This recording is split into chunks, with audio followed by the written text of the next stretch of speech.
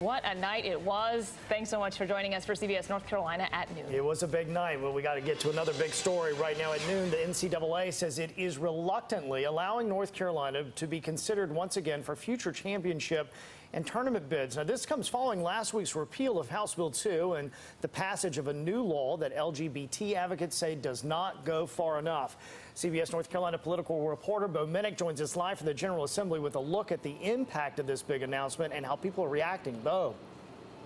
Russ, the NCAA says the new law, House Bill 142, meets the minimum requirements necessary for it to ensure that its tournaments and championships are held in a non-discriminatory environment. The NCAA says that previous tournaments and championships already awarded to the state for 2017 through 2018 will remain in North Carolina.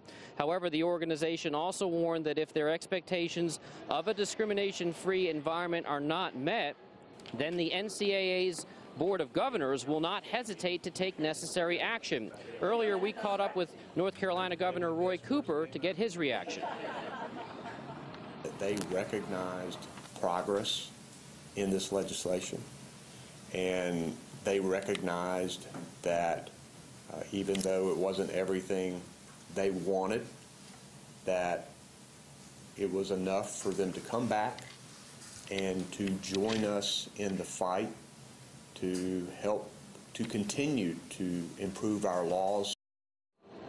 The NCAA Board of Governors says that we have been assured by the state that this new law will allow the NCAA to enact its inclusive policies by contract with communities, universities, arenas, hotels, and other service providers.